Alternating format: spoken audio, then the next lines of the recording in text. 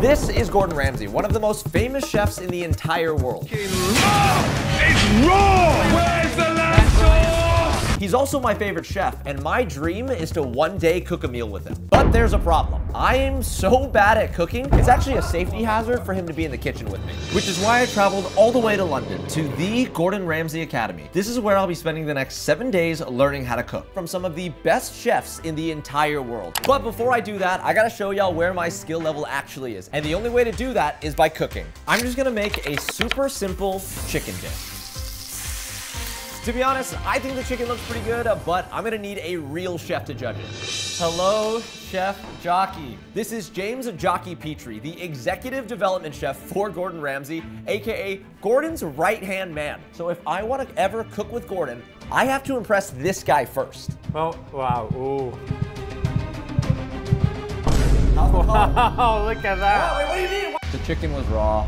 You've gotta be kidding me. It looked good. I think you uh, need to get started on the academy. Now, since Chef Jocky was the closest person I knew to Gordon, I had to let him know my dream of one day cooking with him. That is a big ask. Yeah. Well, you come to the, the best place. I'm going to task you this week to learn to cook a dish to impress me. No! Now I have exactly one week to prepare. I'm gonna be taking as many classes at the Academy as possible, and one of the dishes I'll learn is what I'll make for Chef Jocky. So this is Chef Rob, and he's going to be teaching the first class that I'm taking today, and we're making the classic English breakfast. I'll take you through what we're going to do, uh, and then I'll guide you step by step, um, and then I'm sure you'll absolutely nail it. It'll be fun. This dish is pretty simple. All you gotta do is prep the mushrooms, put them in the oven, peel potato, grate potato, squeeze potato, turn potato into hash browns, cook sausage, cook blood pudding, sear tomato, cook ham, slice crust off bread, toast bread. Jeez, that's a lot of steps. Now, after all of those steps, there was still one more that if I messed up, it would ruin the entire dish. The whole breakfast relies on the eggs being perfect. So if the eggs aren't runny, you failed the breakfast. So if I mess this up, Gordon hates me. Great. To make perfect eggs, they need to be cooked slowly on a low heat. And if the temperature is wrong, the eggs will be burned and the texture will be completely ruined. But of course, Chef Rob's eggs looked perfect. And there you have it, a proper English breakfast. Oh, that's so nice. Obviously, I had to taste it. I've never had an English breakfast before, but I don't think I'd find another one that tops this. The only one that will top this is yours. You don't believe that. I do, I do. Okay, now it's my turn. First thing I had to do was prep the mushrooms, then sear the sausage and peel the potato. So far, so good. Oh, I caught it. I caught it. Now, since this dish had so many steps, it was really easy to mess up since I kept forgetting what I had to do. Oh, that's a lot browner than yours. And while I was anxiously focused on perfecting the different parts of my breakfast, I forgot my hash browns. I forgot about that. Yeah, I was off to a pretty bad start. Luckily, my hash browns still turned out okay.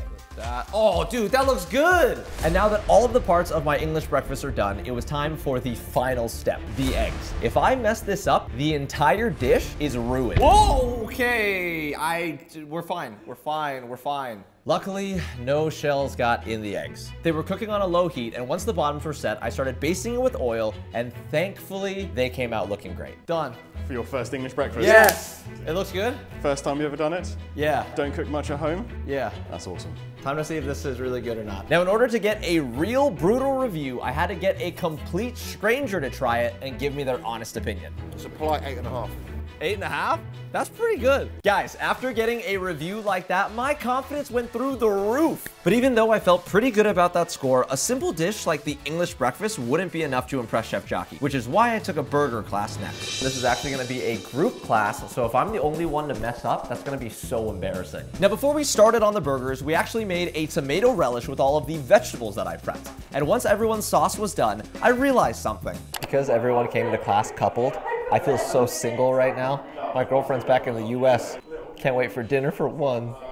But even though I was sad and jealous of all of these stupid couples, I still had a burger to make. Then we made a special mayonnaise with dill, smoked paprika, and some mustard. And look, there's me, alone in a room filled with couples.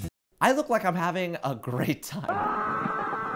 Since the burgers were made from scratch, we had to combine the meat by slapping it together with our hands. The goal for the burger was medium rare, and since all of the ingredients were already laid out, all I had to do was assemble it. After assembling, everyone's burgers looked great. Now all I wanted to know is, does my burger taste just as good as it looks? High, high hopes for this one, so I would probably say it's around about the. Okay, cool. Thank you. Turns out my burger had too much sauce, it was overcooked, and it didn't impress Chef Rob at all, which means that Chef Jocky also wouldn't be happy with this. On day two, I decided to take as many classes as I could to find the dish that I could make for Chef Jocky. I got to butcher a fish, Kind of gross, by the way. I took an Indian class where I got to cook with spices I had never even heard of, and I even made some amazing desserts. High key though, those brownies were so good, someone had to get them away from me, otherwise I would have gained like 50 pounds. But even after all of those classes, I still couldn't find the dish that would impress him. Until... You should try making the beef Wellington or the risotto. That one's my favorite. It's a good idea. I miss you. I miss you too. And after talking to my girlfriend, I knew the next class I had to take. Gordon Ramsay's signature beef Wellington. Good luck.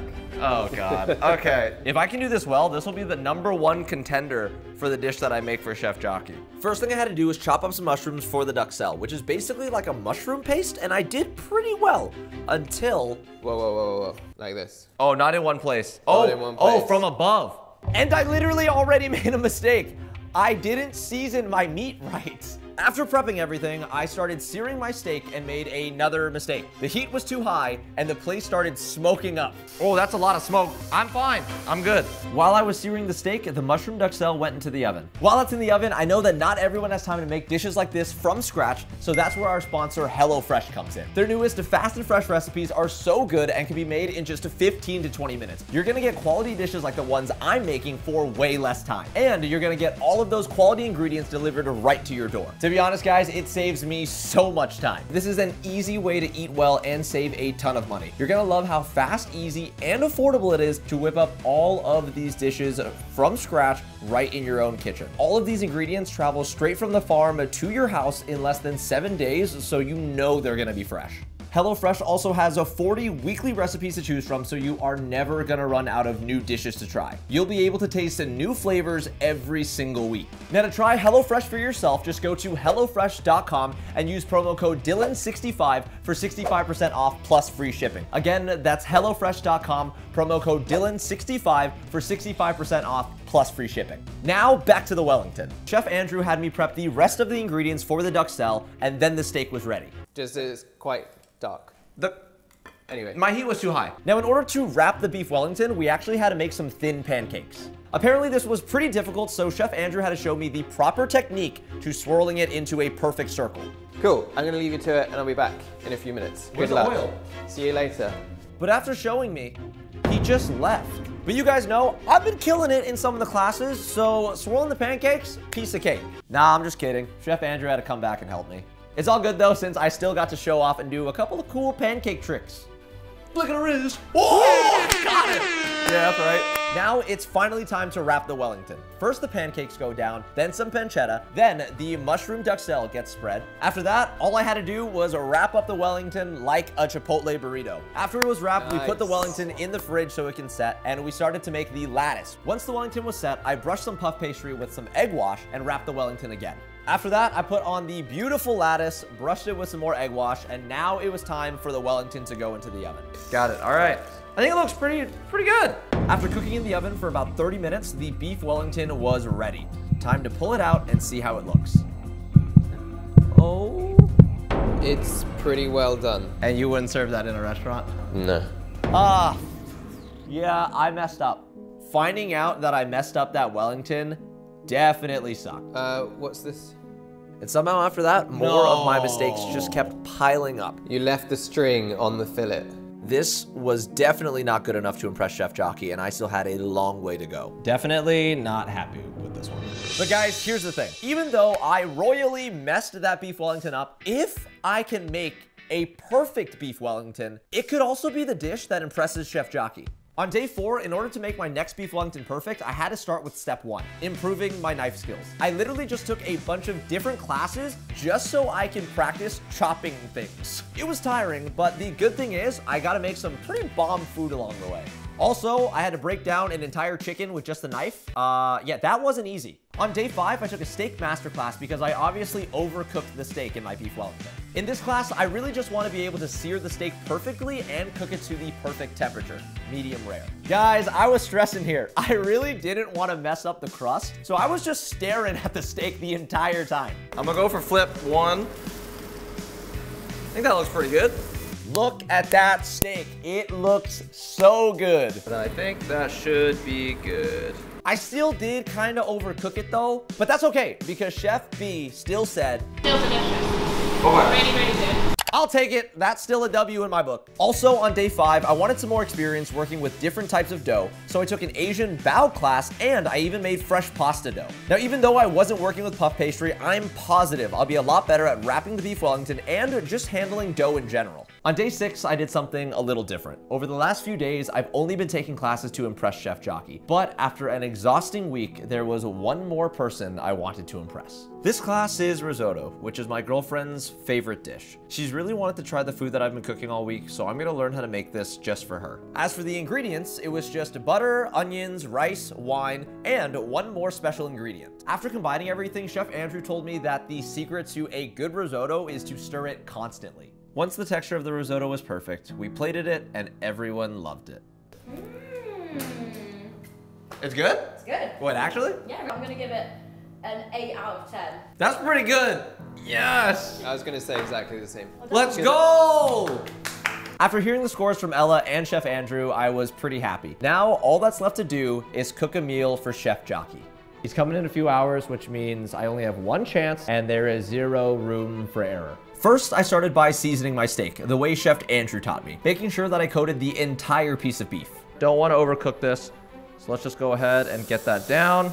Then I got a great sear on the filet thanks to the steak class with Chef B. Fantastic. Yo, look at that. This is so much better than the first time I did this. Guys, I was feeling really confident with this, and honestly, it felt like everything was coming together really well. I have everything made. We have the pancakes, parma ham, the mushroom stuff. I'm gonna be real with y'all. I forget all the fancy words. I even remembered to cut the little string off of the beef. I was not gonna make that mistake twice. I did still struggle a little while wrapping the Wellington, but it still turned out okay. Shape looks good. String is out. I just gotta pray. I'm feeling good about this one. Now it just needs to go into the fridge. Once it was done setting in the fridge, it got wrapped with the puff pastry. Then I added the lattice. And lastly, I just had to trim the sides to make sure it looked nice.